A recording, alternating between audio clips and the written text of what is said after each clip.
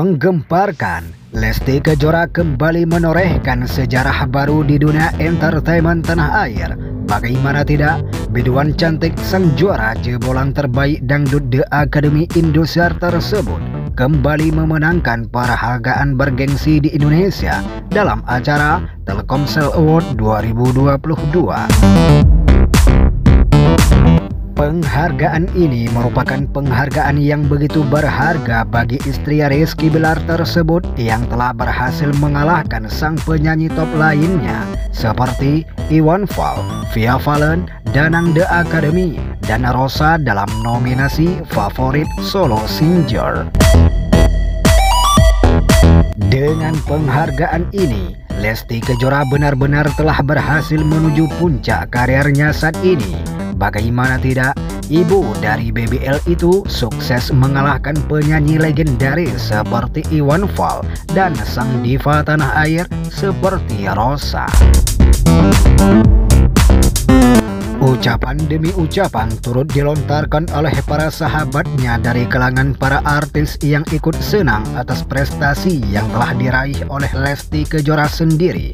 Komentar, pujian, dan doa dari seluruh masyarakat Indonesia, khususnya penggemar Leslar pada Bunda El malam ini, kian membanjiri media sosial dirinya saat ini. Seperti yang diketahui, Malam ini, tepatnya Jumat 24 Juni 2022, Telkomsel kembali menggelar acara Telkomsel Award 2022 untuk mendukung kemajuan industri kreatif digital Indonesia. Telkomsel juga mengatakan masyarakat dapat memilih siapa saja talent kreatif yang berhak mendapatkan apresiasi tertinggi dari mereka. Acara penghargaan tersebut diselenggarakan dan disiarkan langsung di televisi, stasiun SCTV, aplikasi Maxstream, dan kanal YouTube Telkomsel sendiri. Penghargaan itu sendiri akan diberikan bagi talent kreatif di industri musik, film, e-sport yang akan terbagi ke delapan kategori nominasi dan satu lifetime assessment.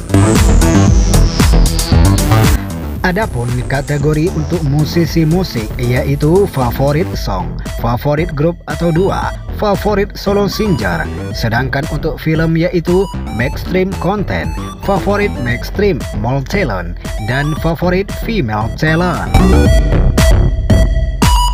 Begitulah informasinya. Jangan lupa untuk terus mendukung channel ini dengan cara subscribe, like, share, and comment agar kalian terupdate informasi terbaru dari keluarga besar Leslar Entertainment.